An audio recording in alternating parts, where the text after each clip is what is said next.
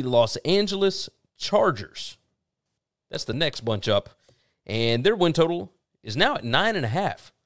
Do you realize that has gone up an entire game since last week? That's insane to me. I don't know what could possibly happen to make you jump up from eight and a half to nine and a half. And yet, here we are. Nine and a half to go over is minus 110, to go under is minus 120. To win the division, plus 550, tied, same odds as the Broncos. To win the AFC, they are plus 2,000. To make the playoffs, plus 100, even money. To not make the playoffs is minus 130. They are projected favorites in 11 games. 11 games, and yet the win total sits at, you know, nine and a half, and it was at eight and a half just a week ago. They've got the 11th easiest schedule out there. Last season's win total was a push, but the under has hit in four of the five prior seasons.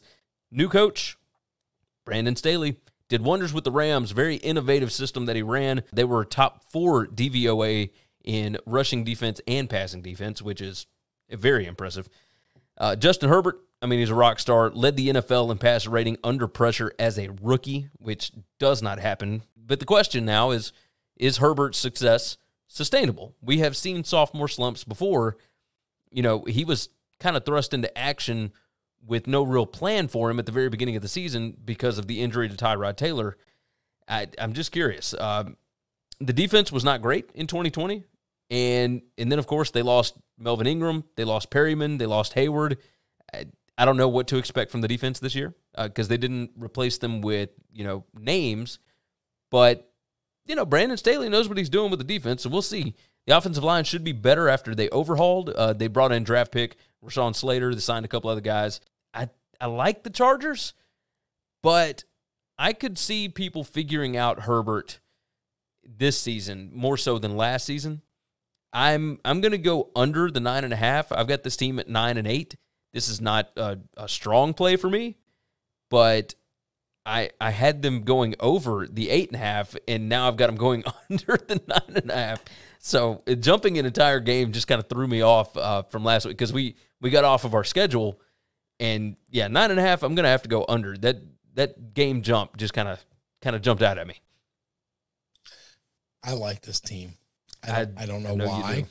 I I normally am afraid of rookie head coaches. I think they're really talented. I think where they were weak, they got better. They got a lot better. I got them going over.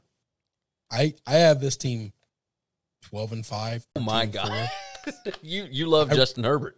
I really think this team is good. Well, it's not just Justin Herbert. Like I think this team is really good. I mean, Derwin James is coming back, but I think he's played what five games since 2019. Yeah, but if he like, comes back and he's healthy, then it doesn't matter how many games he's played. He's going to be a stud. Yeah, I think you know, I think you're right. If Joey Bosa's there and he's healthy, then he's going to be a monster and he's going to wreck people. That's just what these guys do. It's what they do for a living.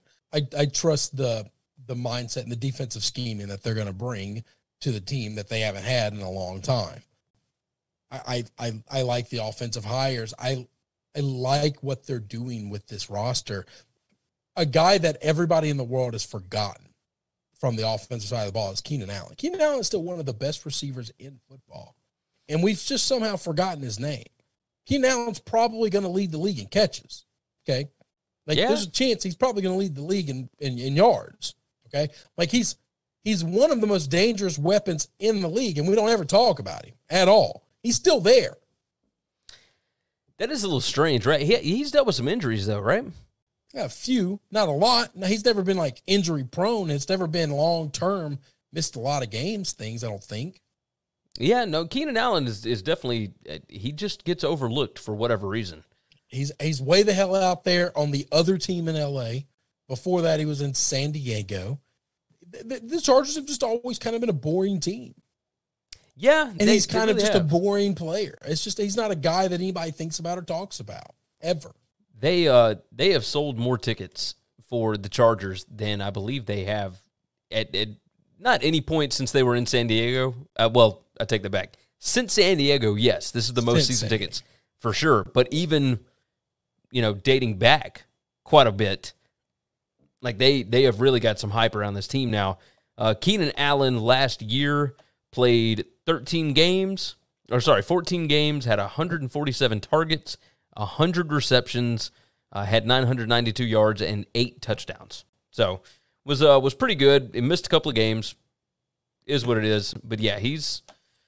I mean, he's a stud. He's an absolute stud. He has I been in the think league. he's a guy that nobody talks about. I think this team's really good. They lost Hunter Henry. Yeah, Hunter Henry hadn't played in a while. Okay, Yeah. he played for him last year. He wasn't great for him last year. He was coming off a big injury. Before that, he missed the entire year. The year before that, so like all of these guys that they're missing, like they lost Melvin Ingram. Melvin Ingram hadn't played a lot in the last two years. So, like, it's easy to say that's a big loss because he's a great player, but he was great when he, he played. But if he never plays, then how great was he for your team? Yeah, yeah. No, you're not wrong. So I am I am curious about this. I like Brandon Staley. Uh, I like the fact that they got a guy from the Rams that did something different than what McVay does. Yes. yes. That's, That's- that's what I like. Go get the don't go hire the guy that does the thing under the genius. Go get the other genius on the team that the other genius doesn't know anything about. Yes, the other genius McVay knows nothing about. Uh, He doesn't, he doesn't defense. call defense. Yeah. This guy does. And the defense was great. And you could say, well, they were great because they got Aaron Donald, and they got all these other weapons. That's fine. Chargers got weapons too. I promise you, he's going to figure this stuff out. He's a really smart guy. I think you're right. I think like this team. right. I, I might. I, it might be this one of those. It's just one of those things where it's really hard to win all the time.